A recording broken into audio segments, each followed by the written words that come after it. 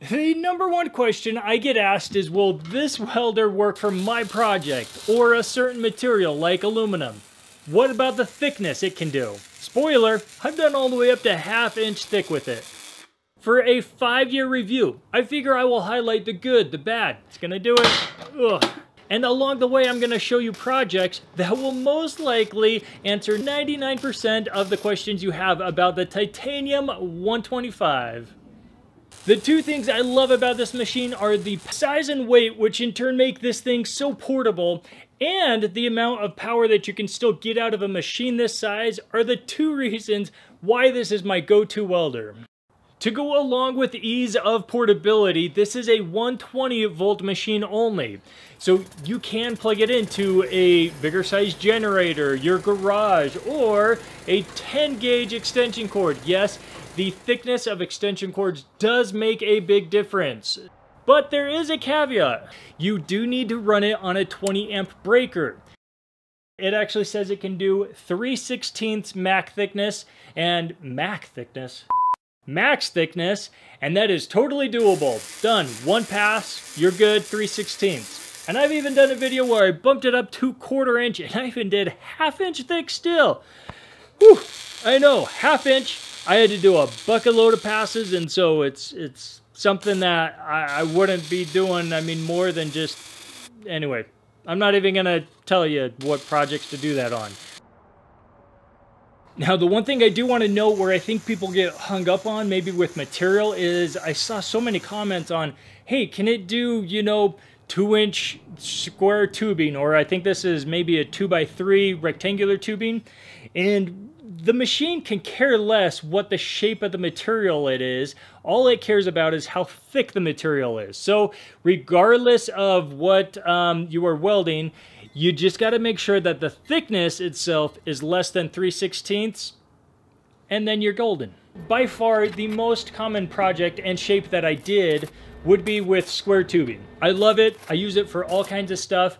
I did numerous railings, and if you're like me, then I never find the exact shape needed. For example, this one inch square tubing, which needed to go to this one inch round tubing. You can make it work, you just are gonna be practicing filling some gaps. Another example, which is this 3 16 inch bearing plate, I needed to go down to the frame of that round tubing Still, no issues, turned out great, and the settings I used for this were about E and 6.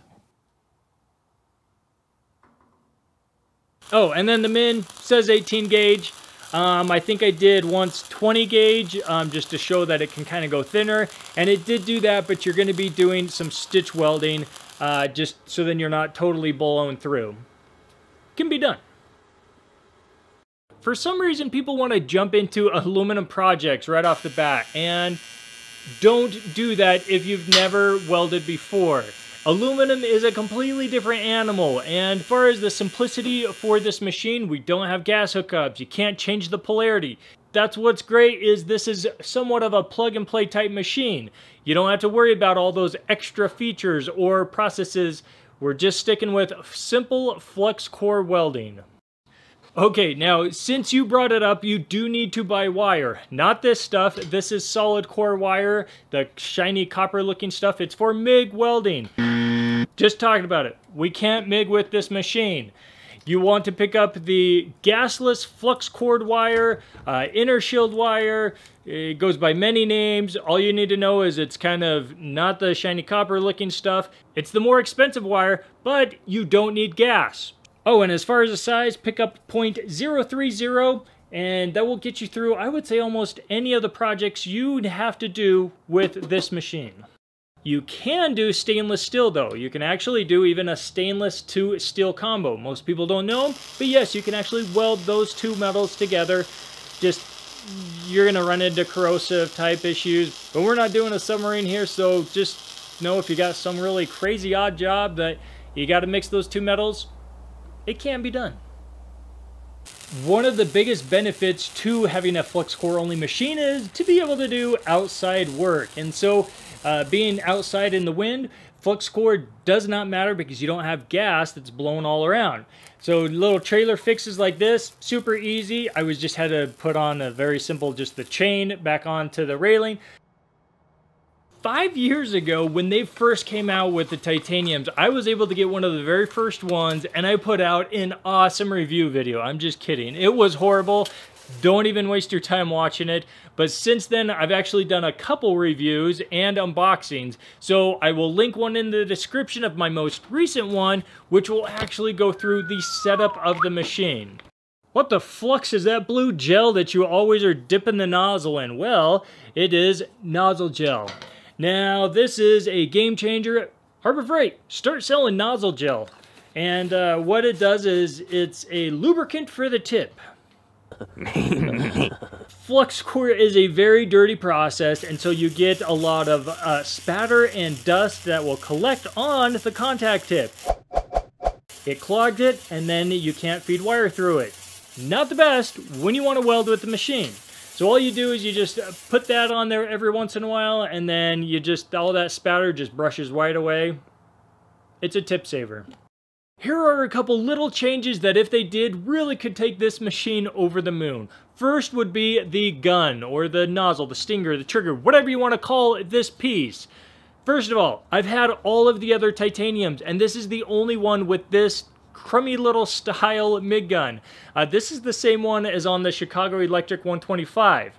So, titanium, you already have a line of great titanium welders. Why not put the other gun on that you have on those on this one.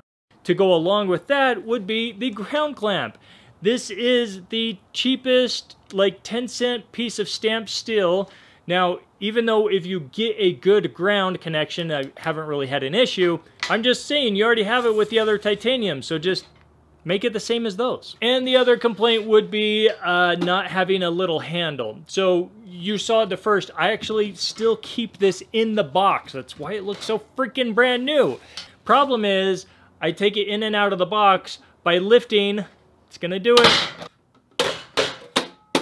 I lift it up by the hood. I know I shouldn't, but I hate the little strap that it comes with. My suggestion, put a little handle right here with a better, you know, little clamp so then it doesn't obviously do what it just did by holding the handle. After five years and only having those couple complaints, pretty good machine. Now, I, I just want to take a step back really quick to cord placement. Uh, way to go Harbor Freight for first of all making the cord 8 feet, not just a cheap 6 foot one, and then putting it on the back of the machine. The Chicago Electric 125, that one comes out the front. As you can imagine, you lose about 2 feet because it's, it's coming out the front and it's got to go the length of the machine in cord length. I call these infinite control. I know there's some probably special potentiometer name for it. Regardless, they are not steps. So you can go in between the numbers if you want. It's not a simple one, two, three, four. And that just allows you to really dial in the settings for specific materials, thicknesses, and shapes. Okay, now some will knock the 90 day warranty. And I say Harbor Freight really has one of the best hassle-free type warranties. If there is any issue whatsoever, which I really believe if you did get a lemon, it would show us signs of it within 90 days. So it's you just take it in and they exchange it, no questions asked. So that end of it, yeah, it's not as long as some of the others, but it really is a hassle-free warranty that they offer. If your project is steel and less than 3 16 inch thickness, this machine can handle it. Like, subscribe. We'll see you next time.